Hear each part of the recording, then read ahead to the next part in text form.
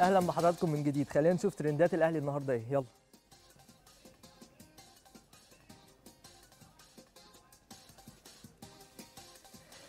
الأهلي يتصدر أندية ترتيب القرن ال 21 وده من الصفحة الرسمية لموقع سوبر كوره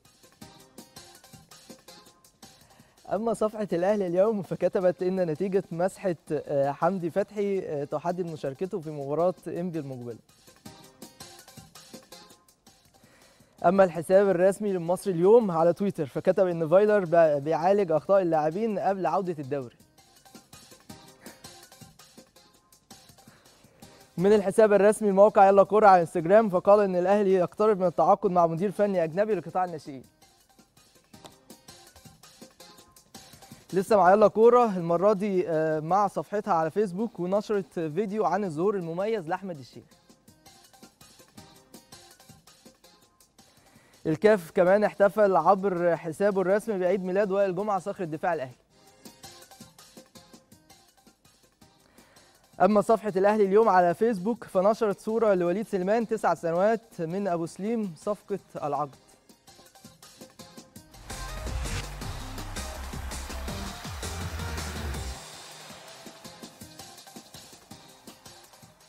خلينا نبتدي بأول ترند معانا وهو فيما يتعلق بتصدر النادي الأهلي آه، أندية القارة الأفريقية في القرن الواحد وعشرين وده طبقا للتصنيف اللي أعلنه الاتحاد الأفريقي لكرة القدم آه، خلال أو كمان أعلنته آه، أو اعلنه موقع سوبر كورة على الصفحة الرسمية على فيسبوك وقال إن الأهلي هو الأول على 10 أندية حتى الآن في القرن الواحد وعشرين. إحنا طبعا عارفين زي إحنا عارفين وحافظين صم إن الأهلي هو نادي القرن الأفريقي القرن اللي فات.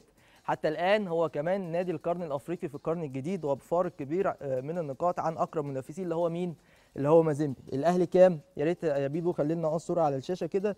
الأهلي 70 نقطة بعديه مازيمبي 55 نقطة فرق كبير. وبعد كده النجم الساحلي في المركز الثالث 51 نقطة وبعديه الترجي في المركز الرابع 49 نقطة وبعديه مين؟ الزمالك. في المركز الخامس 29 نقطة هو والوداد. وبعد كده بيجي آه، بعديهم الصفاقسي 28 نقطة إنيمبا 27 والهلال 23 وسان داونز 21 إن شاء الله آه، ال- القرن الحالي يخلص ويفضل النادي الأهلي متصدر آه، هذا الترتيب ويبقى بطل القرن الجديد كمان. طيب ده فيما يتعلق بالترند الأولاني. صفحة الأهلي اليوم بقى النهارده كتبت إيه؟ آه، اتكلمت عن آه، مسحة حمدي فتحي. إحنا عارفين إن حمدي فتحي لاعب النادي الأهلي آه، كان تعرض لإصابة بفيروس كورونا وحالته دلوقتي طبعا جيدة جدا لكن هيكون في مسحة أخيرة خلال الساعات القادمة علشان يتم تحديد مشاركة حمدي في مباراة إنبي المقبلة يوم الأحد. من دلوقتي أنا بقول لكم حمدي فتحي بره مباراة إنبي لأن هو ما بيتمرنش مع الفريق ما بيتمرنش مع المجموعة. فبالتالي آه، مش هيكون جاهز بنسبة 100% لمباراة إنبي لكن هيتم تجهيز إن شاء الله آه، للمباريات التي سوف تلي مباراة إنبي تحديدا بداية من مباراة الإنتاج الحربي وهو حالته طمئنة زي ما قلت لحضراتكم إن شاء الله يكون بخير دايما والأمور ماشية بشكل كويس بالنسبة لحمدي فتحي وبالنسبة لبقية اللاعبين كمان. تعالوا نروح للحساب الرسمي لمصر اليوم على تويتر واللي اتكلم وقال إن فايلر آه، بيعالج أخطاء اللاعبين قبل عودة الدوري وإحنا عارفين الأهلي كان عنده آه، ماتشين وديين سواء أمام آه، سموحة أو الجونة والأهلي أدى فيهم آه، بشكل جيد جدا. اللاعبين كانوا فايقين بدنيا وفنيا وده شيء مبشر للفترة اللي جاية وعودة بطولة الدوري بإذن الله تعالى. فأكيد كان في بعض الأخطاء الفنية اللي مستر ريني فايلر بيحاول يعالجها خلال المباريات الرسمية لأن ده الأهم طبعا إحنا عندنا أول مباراة رسمية أمام إنبي إن شاء الله يوم الأحد. هتكون الساعة 9 آه، بالليل. إن شاء الله الأهلي يكون موفق فيها عشان يستمر آه، في مسيرته الجيدة في بطولة الدوري. تعالوا نروح للانستجرام والحساب الرسمي لموقع يلا كورة. قال إن الأهلي يقترب من التعاقد مع مدير فني أجنبي لقطاع الناشئين وده خبر حقيقي. وخلال أيام هيتم الإعلان عن المدير الفني الأجنبي الجديد لقطاع الناشئين في النادي الأهلي.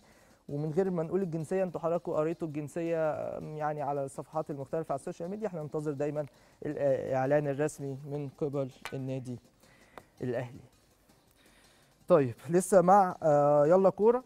والمرة دي آه، فيسبوك بيتكلموا على صفحة يلا كورة آه، بيتكلموا ويقولوا إن آه، فيديو لأحمد الشيخ كتنويه يعني لتألق أحمد الشيخ في المباراتين الوديتين اللي أداهم مع النادي الأهلي في مباراة سموحة والجونة. تعالوا نروح آه، نشوف الفيديو أو قبل ما نشوف الفيديو في الحقيقة أنا عايز أتكلم عن أحمد الشيخ شوية لأن آه، اللاعب ده الفترة اللي فاتت أو من ساعة ما انضم النادي الأهلي ما شفناش المردود المنتظر من أحمد الشيخ زي ما كنا بنشوفه مع مصر المقاصة سواء قبل ما ينضم للنادي الأهلي أو حتى بعد ما انضم للنادي الأهلي وراح اعاره للمقاصة فكان بيأدي بشكل جيد جدا. واضح إن أحمد الشيخ في فورمة بدنية وفنية مميزة هتخلينا نشوفه بشكل مغاير تماما وبشكل مفيد جدا للفريق خلال المرحلة الجاية. تعالوا نروح نشوف الفيديو ده. يلا. Thank you.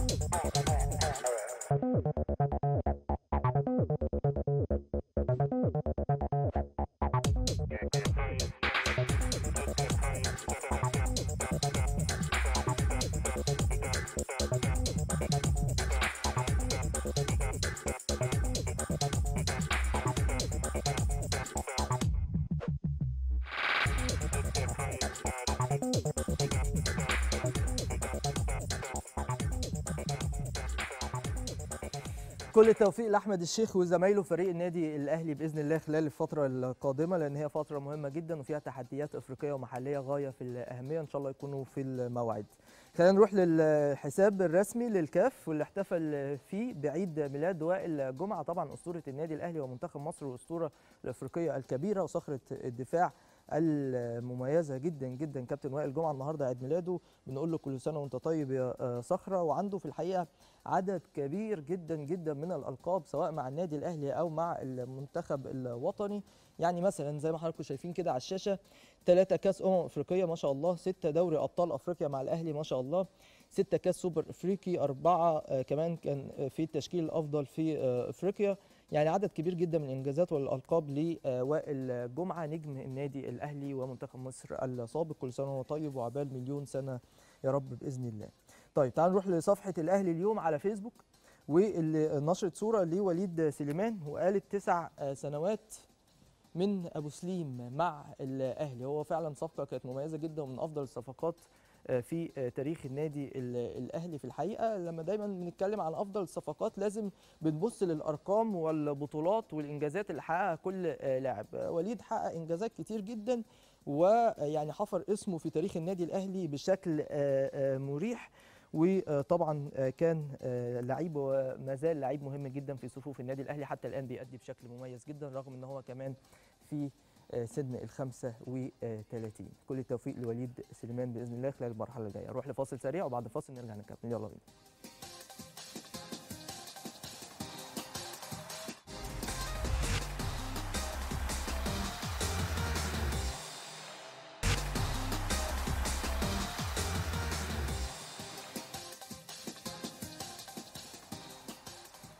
أهلا بيكم من جديد. خلينا نروح نشوف الأخبار المحلية في الترند إيه. يلا بينا. اتحاد الكرة يحسم مصير تأجيل استئناف الدوري وده الحساب الرسمي للوطن سبورت على تويتر.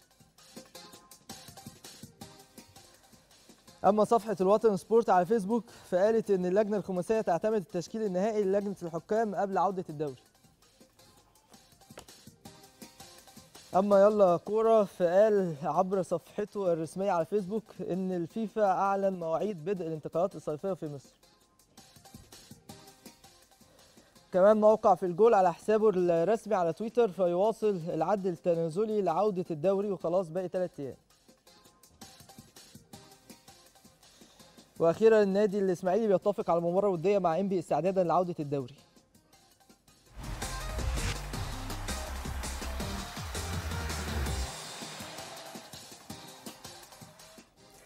طيب أول خبر معانا بالتحديد من الحساب الرسمي للوطن سبورت على تويتر واللي بيتكلم عن اتحاد الكرة يحسم مصير تأجيل استئناف الدوري. الموضوع يا جماعة محسوم خلاص وخلص ومفيش أي كلام فيه. الدوري هيرجع يوم الخميس اللي جاي وخلاص يعني مفيش أي عوائق لعدم عودة أو تؤدي لعدم عودة بطولة الدوري.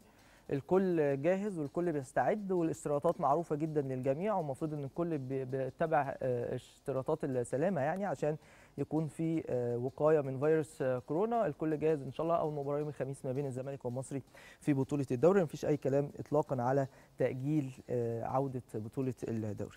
تعالوا نروح لصفحة الوطن سبورت على فيسبوك وقالت إن اللجنة الخماسية تعتمد التشكيل النهائي للجنة الحكام قبل عودة الدوري. وده هيكون من خلال اجتماع آه، من اللجنة الخماسية مع الكابتن وجيه أحمد رئيس لجنة الحكام وهيتم الاستقرار فيه على أعضاء إيه آه، اللجنة الخاصة بالحكام في الاتحاد المصري لكرة القدم. خلينا نقول لحضراتكم الأسماء. الأقرب ناصر عباس وأيمن آه، دجيش وفهيم عمر ومجدي رزق وسيد مراد. دول عضوية اللجنة اللي بيترأسها الكابتن وجيه أحمد أحد طبعا الكباتن والحكام الكبار في تاريخ الكرة المصرية. تعالوا نروح لخبر آخر من يلا كورة ومن خلال صفحته الرسمية على فيسبوك وقال إن فيفا أعلن آه، مواعيد بدء الانتقالات الصيفية في مصر. برضو الخبر ده عايزين نعلق عليه لأن في توضيح مهم جدا آه، الموضوع ده متروك وده شأن داخلي بالنسبة للاتحاد المصري لكرة القدم على حسب أو اللجنة الخماسية تحديدا يعني على حسب انتهاء الموسم الحالي. آه ممكن يتم فتح باب القيد قبل الانتهاء بحوالي ثلاث أو أربع أسابيع.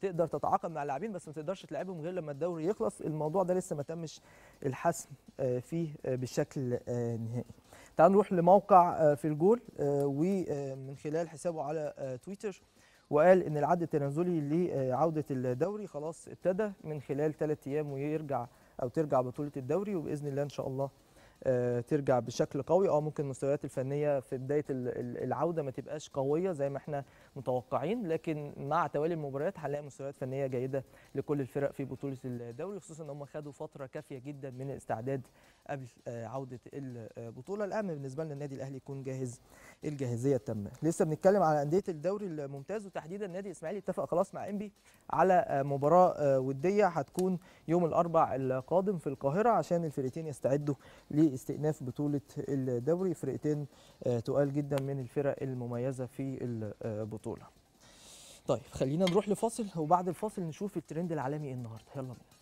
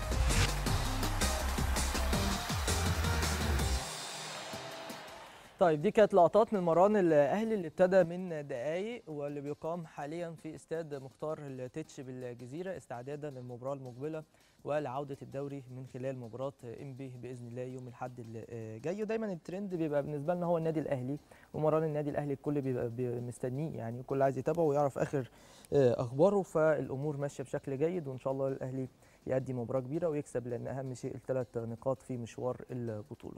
طيب خلينا نروح للترند العالمي ونشوف عناوين الترند العالمي إيه النهارده يلا بينا. ليفربول يحتفل بأجمل لقطات محمد صلاح في الموسم عبر حسابه الرسمي على تويتر.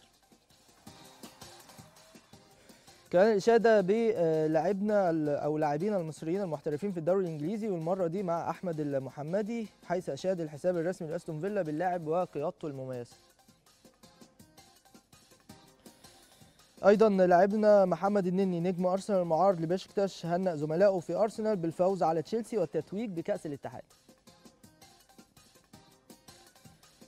أما عن التحقيقات مع رئيس فيفا فنشرت الصفحة الرسمية لموقع يلا كورة على فيسبوك تصريحات للجنة أو للجنة الإخلاقيات التي آه، قالت أن الإيقاف وارد ورفضت التعليق على التحقيق مع انفانتينو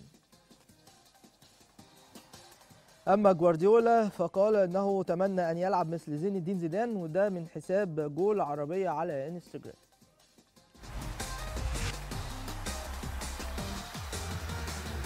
طيب خلينا نروح للاعب آخر من اللاعبين المحترفين في الدوري الإنجليزي. المرة دي هيكون أحمد المحمدي آه، نجم أستون فيلا وكان في إشادة كبيرة جدا من الحساب الرسمي للنادي باللاعب سواء من الجانب الفني أو الجانب القيادي كأحد طبعا اللاعبين وكباتن الفريق ولاعب مميز جدا آه، أحمد المحمدي. وبالمناسبة بالمناسبة هو أدى السنة دي آه، موسم جيد جدا ما لعبش ماتشات كتير أو ما لعبش عدد دقائق كتير قوي مش بالشكل اللي كان متوقع لكن لما كان بيلعب كان مؤثر. تحديدا كمان في آخر كام مباراة قبل الإصابة اللي لحقت بيه قبل انتهاء الموسم كان لعيب مؤثر جدا وساهم بهدف من الأهداف على ما أتذكر في مرمى نيوكاسل كان هدف تعادل وكانت نقطة مهمة جدا من ضمن النقاط اللي ساهمت في بقاء أستون فيلا في بطولة الدوري فطبيعي جدا يكون في إشادة بأحمد المحمدي نجمنا المصري المحترف في إنجلترا. خلينا نروح لمحمد النني والكلام كتير شوية على محمد النني خلال الفترة الحالية لأن هو طبعا معار من أرسنال لبشكتاش التركي وتحديدا آه، هو هنأ لاعبي أرسنال بالفوز على تشيلسي. طبعا حضراتكم عارفين أول امبارح كان في مباراة مهمة جدا في نهائي كأس الاتحاد الإنجليزي وفاز فيها أرسنال بنتيجة 2-1 على تشيلسي. آه، تشيلسي تقدم في الشوط الأول بهدف لبوليزيتش اللاعب الأمريكي المميز جدا. وتعادل أوباميانج بهدف من ضربة جزاء وأضاف الهدف الثاني أيضا أوباميانج وقدروا إن هم يتوجوا ببطوله كأس الاتحاد الإنجليزي. فبالتالي النني بما إنه لاعب سابق في آه، الأرسنال ومعار كمان هو حتى الآن يعتبر على قوة أرسنال الإنجليزي معار لبشكتاش فهنأ زمايله بالبطولة الغالية دي. موقفه لسه ما تحددش النني آه، بشكتاش متمسكين بيه واللاعب برضو عنده رغبة باستكمال مشواره مع بشكتاش لكن الأمور كلها هتكون في إيد أرتيتا. المدير الفني الأسباني لأرسنال هو اللي هيحدد احتياجاته للموسم الجديد وبناء عليه هيتم تحديد مصير محمد النني آه، نجمنا المصري المحترف آه، في الخارج. طيب تعالوا نروح لخبر آخر من الأخبار المهمة وهو فيما يتعلق بالتحقيقات مع رئيس الفيفا انفانتينو فنشرت الصفحة الرسمية لموقع آه، يلا كورة على فيسبوك تصريحات لجنة الأخلاقيات اللي قالت إن الإيقاف وارد جدا ورفضت التعليق على التحقيق مع آه، إنفانتينو. والموضوع إيه السبب فيه؟ السبب إن في مزاعم آه، التستر على فساد. مزاعم يعني كلام يتقال على إنفانتينو اللي هو تصدر على بعض الأمور الغير صحيحة وبالتالي هيتم التحقيق معاه من قبل لجنة الأخلاقيات بالاتحاد الدولي لكرة القدم. خلينا نروح لآخر خبر كمان معانا. بالتحديد جوارديولا وكلامه ده من خلال حساب جول عربية على انستجرام واللي اتكلم على انه هو كان نفسه يبقى زي زين الدين زيدان من حيث المستوى. دايما كان بيقول أنا كنت بشيد بشكل دائم وبتمتع بمشاهدة زين الدين زيدان طبعا النجم الفرنسي الكبير والشهير وأحسن آه، لاعب في العالم آه، سابقا ومدرب ريال مدريد الحالي واللي ما شاء الله أي بطولة بيدخلها بيفوز بيها يعني ما شاء الله عليه. آه، فبالتالي يعني كلمات مدح من جوارديولا في حق زين الدين زيدان آه، مدير الفني آه، لريال آه، مدريد. طيب خلينا نرجع لسؤالنا اللي كان مع بداية الحلقة وإيه آه، أكتر مباراة ما تنساهاش للنادي الأهلي في الأعياد. خلينا نشوف التقرير ده وإجابات الجماهير وبعد كده نرجع نشوف إجابات كمان الجماهير على الصفحات الرسمية لقناة النادي الأهلي على ال social media. يلا بينا. بوتريكة يمشي خطيرة. والهدف الأول. والهدف الأول من فلافيو. لسه الخطورة قائمة. لسه الأماني ممكنة الهدف الأول جول أهلاوي. ماتشات الأهلي في العيد في منها على ما أفتكر ماتش الأهلي والاتحاد. اللي هو ماتش كان الستة وماتش الأهلي والزمالك بتاع نتيجة 2-0 اللي هو بتاع مؤمن زكريا. دايما طبعا أنا بحب الصراحة أشوف الأهلي على طول طبعا بيكسب بس في العيد بتبقى الفرحة فرحتين. ف يعني ده على قد ما أقدر أفتكر من الحاجات اللي هي الحديثة ماتش الأهلي واطلع بره اللي هو السنة اللي فاتت طبعا. الحمد لله طلعوا بره في العيد وفرحونا وربنا يسهل إن شاء الله و... وتتكرر كل كل عيد إن شاء الله. الأهلي في الأعياد بيفرحنا ويخلي يعني عيد يعني فعلا بيبقى عيد عيد سعيد علينا كلنا في مع الاتحاد لما كسبوا نتيجة كبيرة والترسانة. ففعلا المطوشه بتاعت الأعياد دي بيخلينا فعلا بنروح فرحانين وبنحس بقيمة العيد. فالنادي الأهلي قيمة كبيرة قوي وبيلعب انتماء الفالنه اللي هو لابسها. إحنا فرحانين بان إحنا اهلاوية وهنفضل طول عمرنا اهلاوية واولادي كمان كلهم اهلاوية فكل عيد بيخش علينا فاحنا فرحانين وفرحانين أكتر ان الكرة هترجع والدوري هيستكمل عشان برضه نحصل عليه ويبقى لقب سعيد لينا كلنا والاهلاوية. كل مباريات الاهلي كلها اعياد بالنسبة لي. أنا لكن الماتش الوحيد اللي هو ما كانش في عيد بس أنا بعتبره عيد بالنسبة لي كان ماتش أبو تريك الماتش الهدف بتاع أبو تريكة في الصفاقسي. فده كان بالنسبة لمصر كلها مش بالنسبة لي أنا كمان. مصر كلها لأن 80% أو 90% من الشعب المصري أهلاوي. أفتكر سنة 2001 كان في مباراة الأهلي وصن داونز. كان نهائي أفريقيا دوري الأبطال وساعتها الأهلي فاز 3-0 ده كان في العيد ده اللي أفتكره دلوقتي يعني. طبعا الشعور أنا لما الأهلي بيكسب ده بيبقى أسعد وقت في حياتي. ولما الأهلي بيخسر بيبقى أسوأ وقت في حياتي. ممكن أقعد ما أكلش ولا أنام ولا أشرب ولا أي حاجة خالص يعني. بحب الأهلي جدا يعني جدا جدا يعني. أي ماتش بالنسبة لنا طالما بنتفرج على الأهلي فرحة. يعني في العيد غير العيد هو يوم يوم فرجتنا على الأهلي أو يوم لعب الأهلي ده بالنسبة لنا ده يوم عيد. فكل ماتشات الأهلي المكسب بالنسبة لنا دي عيد. تمشي على طول الكرة تاني في نص ملعب. خطيرة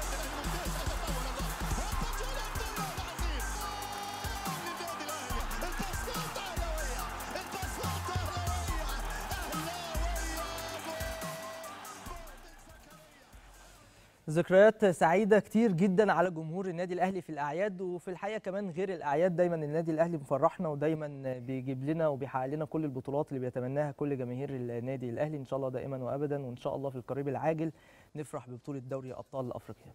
دي كانت حلقتنا النهارده من الترند استنونا في حلقة جديدة إن شاء الله. سلام.